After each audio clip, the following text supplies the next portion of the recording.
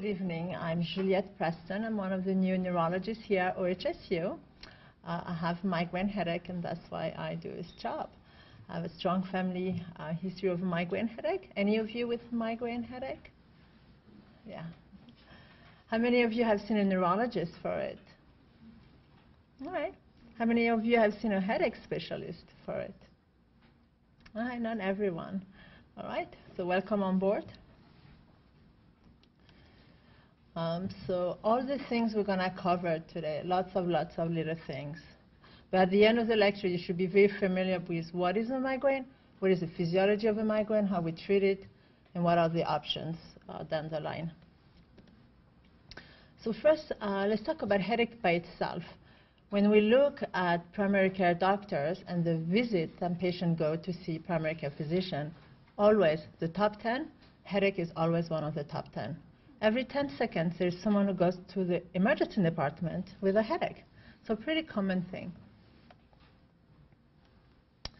In 2008, 3 million visits were due to a first diagnosis of headache and an additional 2.5 with a secondary diagnosis of headache, meaning I had a pain somewhere else, I had something else, and I also had a headache going to the emergency department. So about 4.4% of all the ER visits were due to headaches. Now, if we compare migraine headache versus other diseases in the United States, it's pretty impressive. 8% uh, of patients in the United States have asthma, 9% have diabetes, 12% have migraine headache. And when you look at the ratio of men to women, it's 3 to 1. So we're unlucky in that regard. So 18% of American women will have migraine headache, 6% of men, and about 10% of children. So it's also found in kids.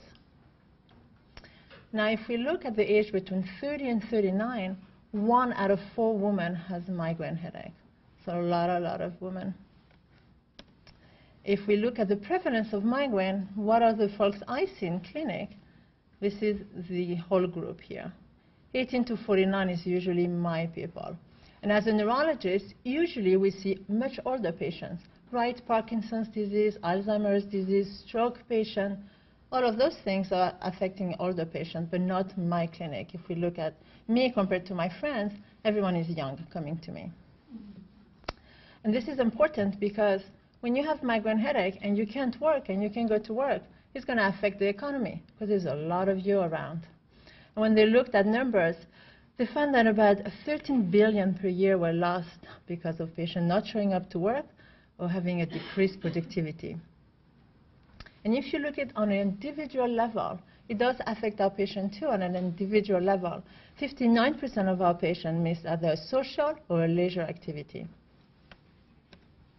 Now, what do we do about that? So we know that we know that it affects our patient, but we need to have a mean of keeping track of that.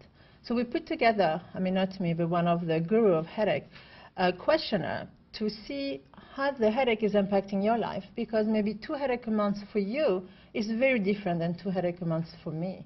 Maybe I can go to work, maybe you can go to work. And if you keep missing two days a month, boy, you're not going to keep a job, for example.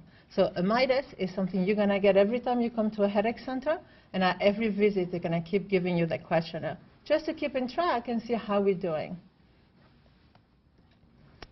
Now, you have headache and you wonder, do you have migraine? There are 200 subtypes of headache in the world.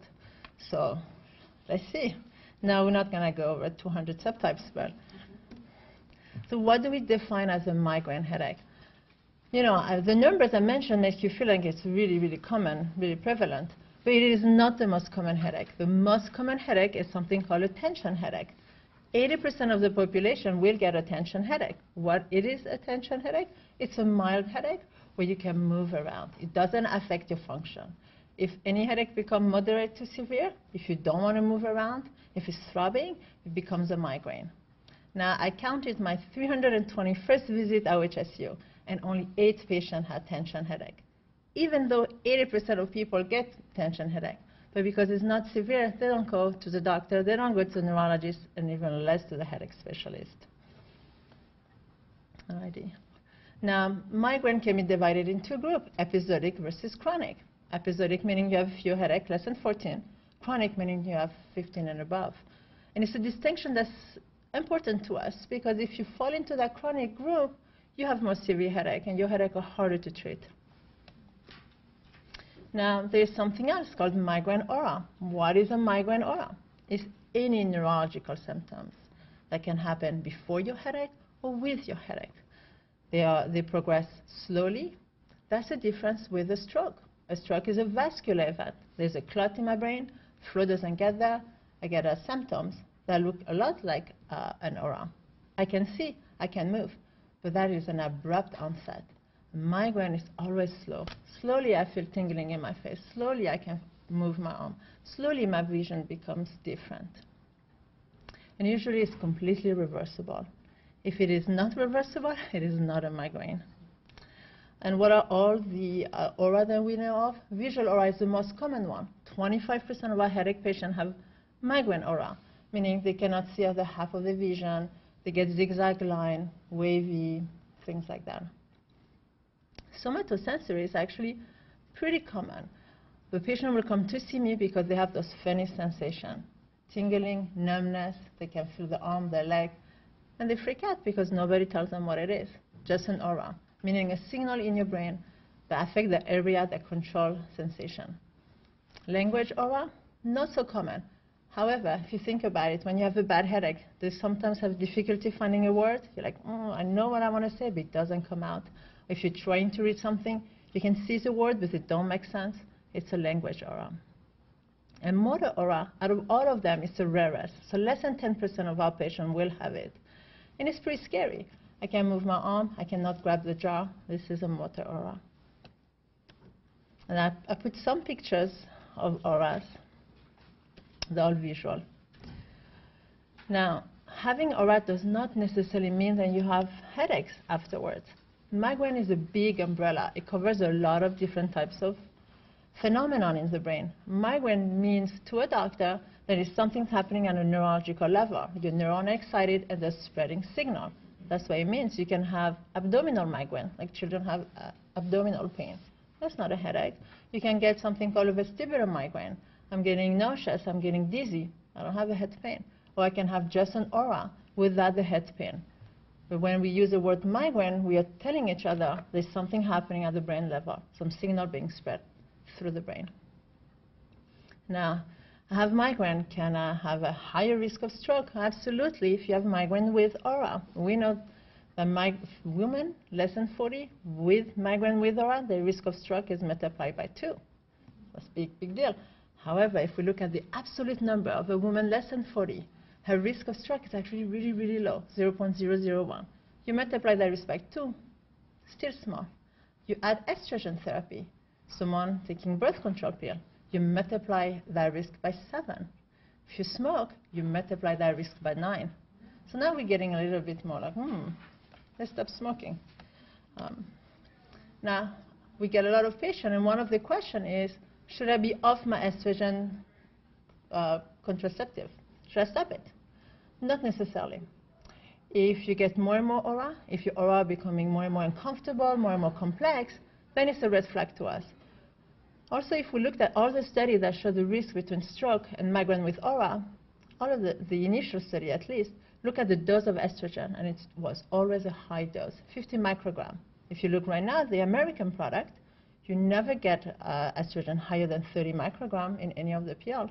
So we know the initial study that studied the ball rolling on stroke were using much higher estrogen, which we're not doing in the US.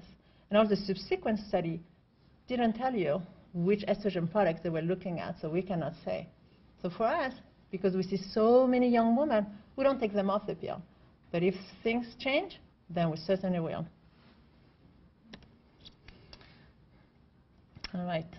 Now, the title of the as talk was, Is it all in my head? I did not come up with that title. But the reason is depression is really, really common in our migraine patients. Now, it is not because they have migraine headache that they're getting depressed. It's we think there is these genes are traveling together because migraine patients are 2.5 higher risk of having uh, depression. And if you treat the depression, if they're happy and they go dance, they still have migraine headache. So we know it is not one causing the other, but they do travel together. Now let's talk about what is migraine and where does it come from. A, clearly, I was a biology major, so I love that slide, and I'm sure you guys don't. But let's look at it together. So what I have the picture is a brain. So at the bottom here, let me get my cursor, it's a spinal cord, and here we see the brainstem. The brainstem sits in the back of your head. This is the command center of your brain. If that doesn't work, you go into a coma. Let's see. And deep in the brainstem, there are some neurons. When we look at migraine patients, those neurons are hyper-excitable compared to someone who doesn't have migraine. Let's say your best friend has the same neuron than you, but they're all sitting nice and quiet, while yours are all excitable. So you need a tiny trigger to get that excitable neuron turn on and signal spreading, while your friend who didn't have an excitable neuron is sitting with a very close neuron and need much higher, higher dose of a trigger, much bigger stress to turn it on. So start first in the brainstem. And it is genetic, so you can blame your mother. so that happened. Then the signal travel with the trigeminal nerve. The trigeminal control all those facial sensations, and it goes to number two here, to the periphery uh, there is a release of some peptide, some protein that cause some inflammation at the vessel level.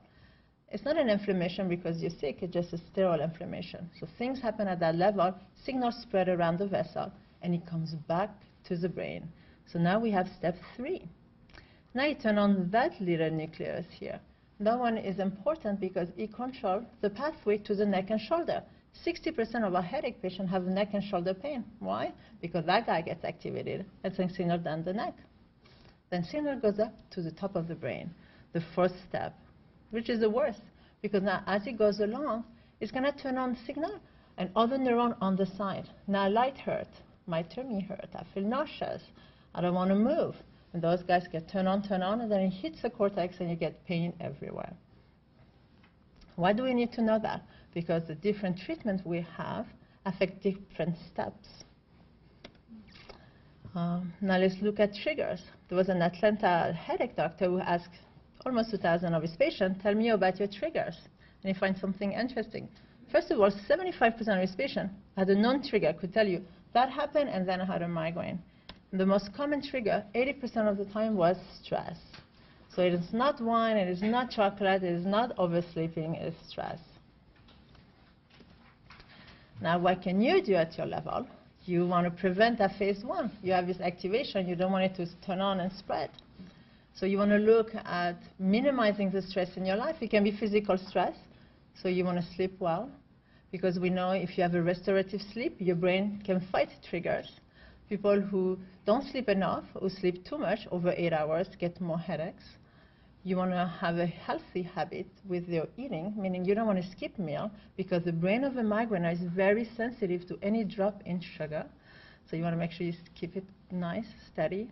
You want to look at your workplace, at your family, at your finances, what are the sources of stress and see if you can manage some of them.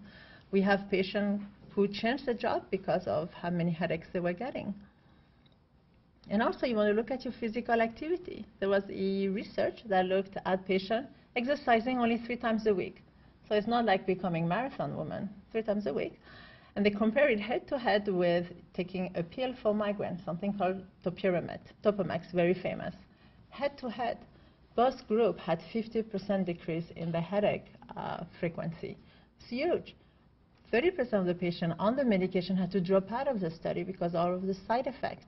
Well, nobody dropped out of the group who exercised. So everybody who walks through our door, we ask them to exercise. Now, what else can you do? You can keep a headache diary. And why? Is to be honest with yourself. Because a lot of headache patients don't like to admit they're having a lot of headaches because they don't want to be the sick person. They don't want to be, oh, I'm always complaining. So when they come and see me, they always underplay the number of headaches they have.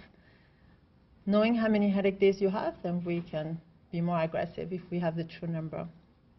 Also, you want to look at how much rescue medicine you're using. Tylenol, Excedrin, any medicine you have at home. We should know how many you're using.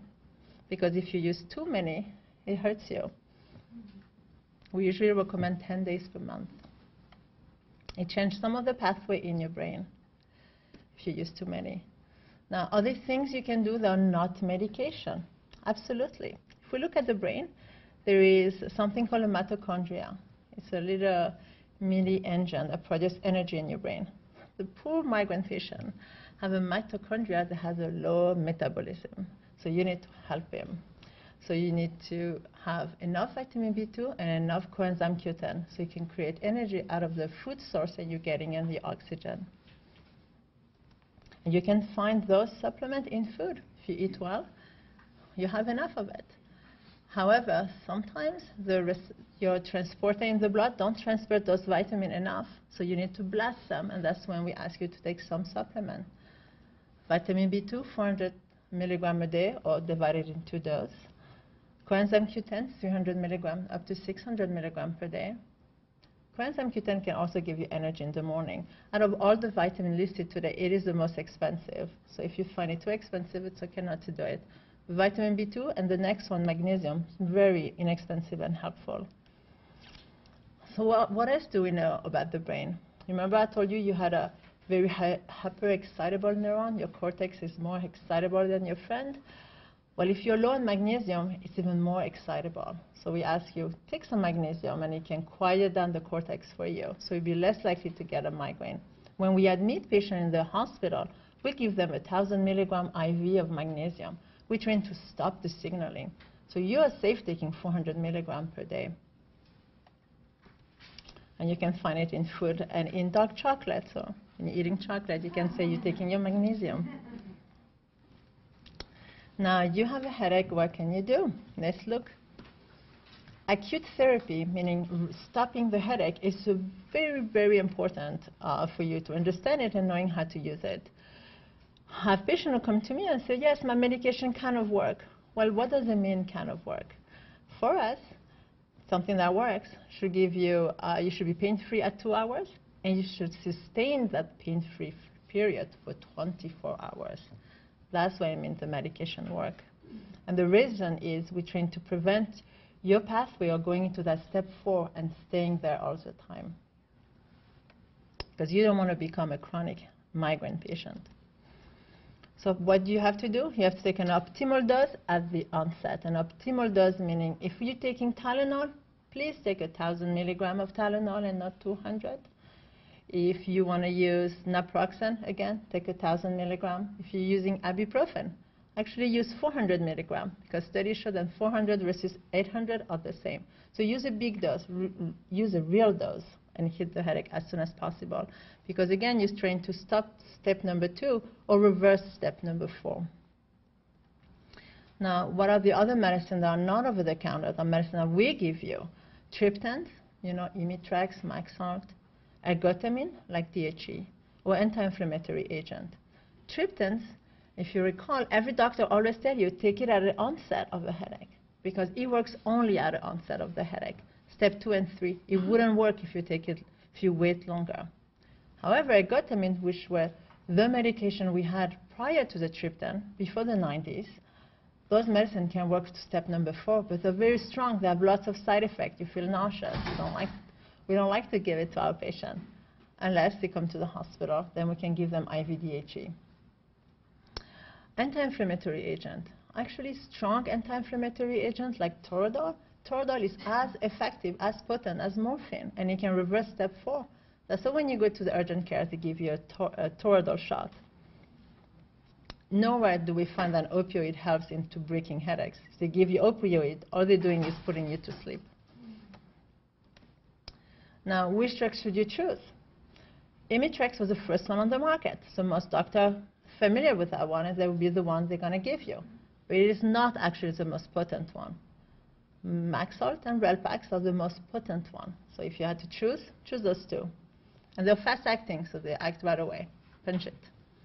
Now, at two hours, you got, let's say, a relief in your pain.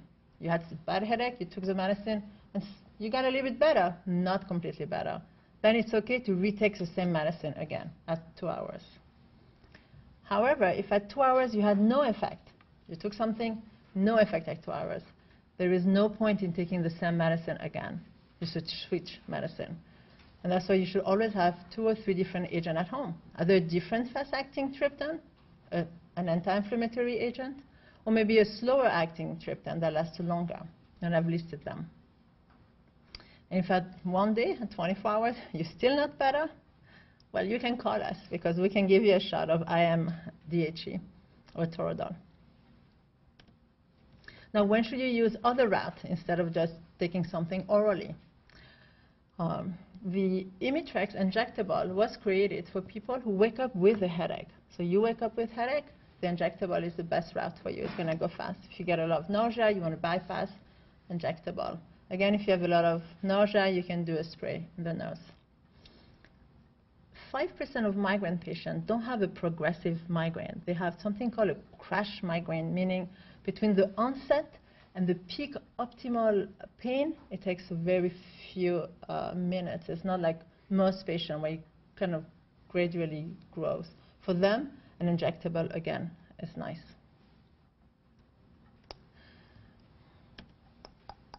So when to come and ask for preventative medicine? So far, all we talked about was how to stop a headache, how to abort a headache.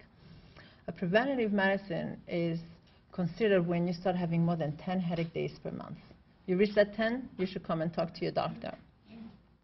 Or let's say you don't get 10 headaches per month, but the headache you used to take Tylenol for no longer respond to Tylenol. The headache you took um, sumatriptan or Maxalt no longer respond to that if the few headache you have are no longer responding to the medicine you have at home, then maybe we should try a preventative, meaning your headache are getting into that stage four. And the goal of the preventative medicine, of course, is to give you less headaches, to make the medicine work for you now, finally, the rescue medicine, and to prevent you from falling into the other category, that category where you have more than 15 headaches per month. Do you have a choice? Yes, we never ran out of choice because we have lots of medication.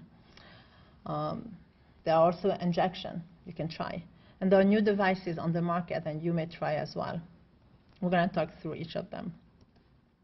Like what is a successful preventative medicine? You take a medicine and if at three months you have 50% reduction, the medicine works. If you've been on it for a year and you're not sure if it works, it's not working, so you should be off of it. What happens is, as a headache specialist, I don't see patient directly. Patient go to the primary care doctor, they get some medicine on board. Then they go see the neurologist, get even more medicine on board. By the time they come and see me, they're already on three or four medicine at the same time. We don't like to do that. There's no reason. So if you've been on something for a long time and you don't see a 50% improvement, come off of that medicine. What are the most common choice? The standard of care. Everyone should have tried at least a blood pressure medicine at least an anti-seizure medicine and an antidepressant. Why? The blood pressure medicine, not because we think you have high blood pressure, but it does something in the pathway in the brain. You're less likely to fire for the blood pressure medicine. The seizure medicine, what it does is stop those channels from talking, from spreading signal, just like for epilepsy. The antidepressant, again, not because we think you have depression, but when you have an ongoing signal pain, there is an inhibitory pathway, a pathway that comes and tries to stop it. If you're low on serotonin, that pathway doesn't work. And we know patients who have a lot of headache are in a chronically low serotonin state. So that's why we give you antidepressants, to increase that serotonin level, not to make you happier. Now, we try some medicine. What about blocks? Have any of you tried an occipital nerve block? So occipital nerve block have been around for 50 years. It's not experimental. It's not expensive. It's been around for a long time. What it does is a little bit of a lidocaine and a little bit of steroid in the back of your head. Because what happens in 60% of our headache patients, they get neck and shoulder pain. And that nerve get agitated. It's a peripheral nerve. It means we can access it by the back. Just show it there. What it does, it resets some of the symptoms inside the brain. So you reset your central pathway, even though we're doing something at a periphery outside. Uh, Botox, has, how many of you have tried Botox? Nobody all right. So I just moved from LA where everybody had tried Botox. it's funny to me. All right, so Botox not a magical product. What it does, it decreases the contraction of muscle, right? You have a lot of pain. Those muscles are very tender. Botox quiet it down. But the other thing it does, you remember in that step two, when you have a release of some protein into the vessel that created that inflammation, it stops the release of those protein. So you get a 50% reduction in headache. When someone would choose that, if they don't want to take a medicine, if the medicine they were taking was affecting their mentation, Botox doesn't do that because it doesn't go through your body, it doesn't go through the liver or the kidney, and it doesn't affect your mentation. It certainly make you look different. Now, other things on the market. Has anybody heard of Cefaly, the headband? Anybody tried it? Right. So what the Cefaly headband does is send signal to one of the branch of the trigeminal nerve in the forehead. Again, something peripheral. We're doing something at the periphery, hoping that this, it will change some of the pathway inside the brain. Now, does it have great data behind it? Not really. Everything so far we talked about had is backed by double-blinded clinical trial. Cefaly didn't do that. It's a company in Europe. They gave for free in France and in Belgium uh, the band to patients and say, hey, keep it for 40 days, use it for 20 minutes a day. And if after three months you liked it, you can buy it from us. And 54% of the patient bought it. Now, is that a good study? No, because I don't know, is it placebo? I mean, 54%, I'm not sure. Uh, and the people who didn't like it, who returned it, 22% didn't like it, returned it, they had never turned the machine, or they had turned the machine only for three days. So again, I don't know, did not like it, really did not work, they didn't give it a good try. But it's been approved for migraine since 2014. Do I recommend it to my patient? Not necessarily, because even though it's approved, it is not covered by insurance. So buying something for $300 when you don't, you're not sure if it works, tough one. But it doesn't hurt at least. It doesn't cause irreversible damages or anything. Now, it's something else that maybe be better. Has anybody heard about that box? Right. It's, uh, so the previous band was uh, electrical signal. This box actually creates uh, a magnetic field. Because you remember migraine is this electrical signal through your cortex. What you're doing with the magnetic field, you're trying to disrupt that signal, to stop it. And their study on that was awesome. They create that box and they told patients, when you get a bad migraine with aura, put it behind your head and send two signals to yourself and see if you can break the headache. And the results looked great. The blue mean yes, it worked, and the red was a sham box. It means some people had a box, we didn't have a real signal to it. So it was a real to see if it was placebo or not, and it was much better than placebo, so it worked. Also, it's been approved uh, by the FDA since 2013.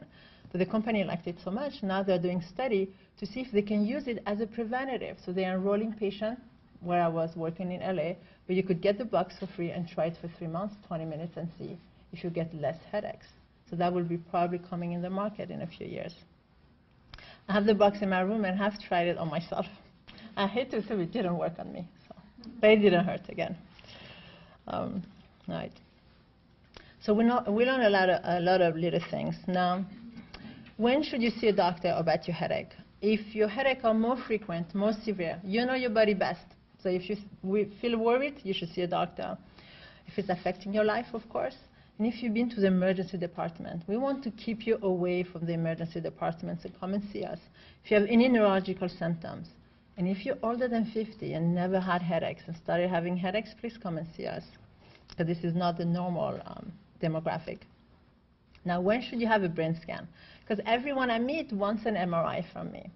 Of course, MRI doesn't hurt, it's not radiation, so it's no downside to it, but OHSU will be very mad at me if I give an uh, MRI to everyone. So let's see, if you never had headache and it's the first time you have a bad severe headache and you're a little bit older, yes, you get an MRI because I want to make sure there's nothing in your brain. If you have headache with vigorous activity, with exercising, bad headache, or with sexual activity, no matter your age, we will check your brain and also your vessel in your brain to make sure there's nothing wrong with your vessel.